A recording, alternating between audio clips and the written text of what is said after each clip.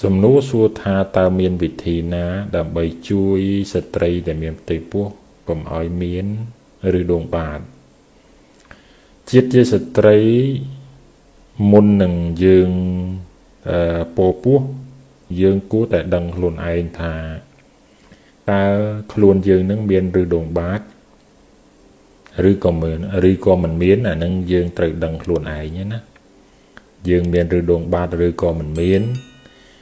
មានស្បែកធ្លាក់ឬក៏មិនមាន យើងត្រូវដឹងខ្លួនឯងជាមុនសិនហើយបើសិនជាយើងមាន មានស្បែកធ្លាក់ក៏ដោយ មានរឹសដងបាតក៏ដោយ យើងគួរព្យាបាលវាមុនមុនដែលយើងមានផ្ទៃពោះណាពីព្រោះស្ត្រីដែលមានផ្ទៃពោះពេលដែលជាពិសេសនៅក្នុងត្រីមាសទី2នៅក្នុងត្រីមាសទី3 អ្នកខ្លះនៅដល់ចុងត្រីមាសទី3រៀបនឹងឆ្លងទលេហ្នឹងគឺភាកច្រើនស្ត្រីដែលមានឬដងបាតគឺហើមធ្លាក់ឈឺនៅពេលនឹងឯងសូម្បីតែមានតិចតួចក៏អាចហើមឈឺនៅពេលនឹងដែរពីព្រោះសម្ពាធកូនដែលធ្ងន់ធ្លាក់ទៅខាងក្រោមហ្នឹងវាអាចធ្វើឲ្យទៅជាសម្ពាធទៅលើសរសៃឈាមវ៉ែន នៅលើទ្វារលាមកយើងហ្នឹងអាចឲ្យឡើងប៉ោងទៅជាឬដងបាតបានសូម្បីតាតកតងជាមួយនឹងការស្បែកធ្លាក់យាធ្លាក់នឹងស្បែកនៅនឹងទ្វារលាមករបស់យើងហ្នឹងក៏អាចធ្វើឲ្យហើមឈឺដែរហើមឈឺដូចឬដងបាតទាំងស្រុងតែម្ដងហើយពេលហើមឈឺមិនងាយមិនងាយនឹងប្រើថ្នាំឲ្យបាត់ទេម្យ៉ាងយើង ខ្លាចប៉ះពាល់សុខភាពកូនផងអីផងចឹងក៏មិនសូវហ៊ានលេបថ្នាំសំបីតែពេទ្យហ្នឹងប្រើថ្នាំអឺដុកទ័រឯកទេសវិជ្ជបណ្ឌិតឯកទេសហ្នឹងក៏ប្រើថ្នាំដោយប្រុងប្រយ័ត្នដែរដោយសារអាចខ្លាចវាប៉ះពាល់ទៅដល់សុខភាពកូនអញ្ចឹងពិបាកពិបាកថែរក្សាស្ត្រីដែលមានផ្ទៃពោះអញ្ចឹងមុនដែលយើងមានផ្ទៃពោះយើងគួរដឹងខ្លួនឯងសិនយើងដឹងខ្លួនឯងថា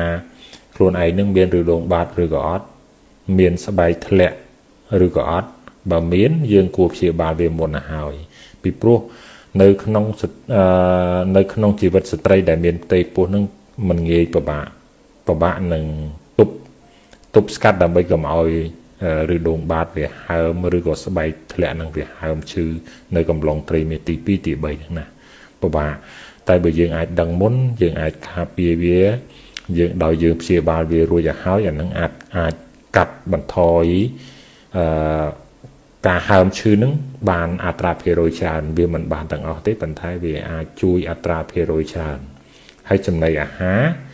ក៏ត្រូវតែមិនអាចឲ្យរឹងបានទេលិមុននឹងត្រូវតែទុនស្រួលបត់ជើង